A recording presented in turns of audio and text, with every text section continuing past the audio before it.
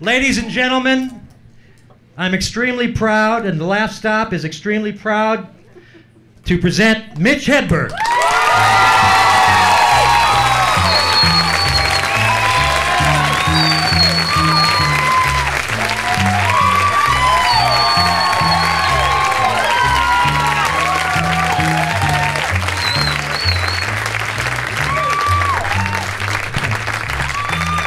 Thank you. I'm, uh, I had to uh, I had to record a CD, so I had to tell all the jokes I have. Cause I want to put them. I never recorded a CD before. I've told a lot of these jokes before, but I gotta put them on a CD now. See, so so I'm gonna spread it out. All these jokes on a CD right here. These are the CD jokes. I thought of it today. I, I, I whittled the list down today.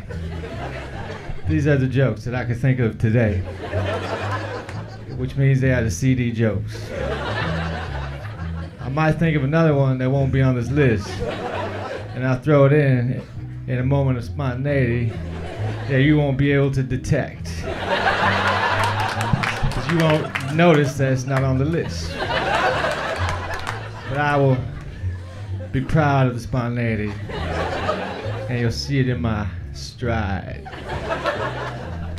So don't fuck up the bass tonight, Chuck, because we're on a CD here. Just fucking keep it, keep it going. Don't fuck up a scale.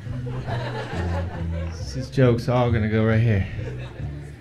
So I wish I could play Little League now. I'd kick some fucking ass. I'd be way better than before. Good back up now. All right. That joke kicked off the CD right there. Kind of weak, man. I got an ant farm. Them fellas didn't grow shit.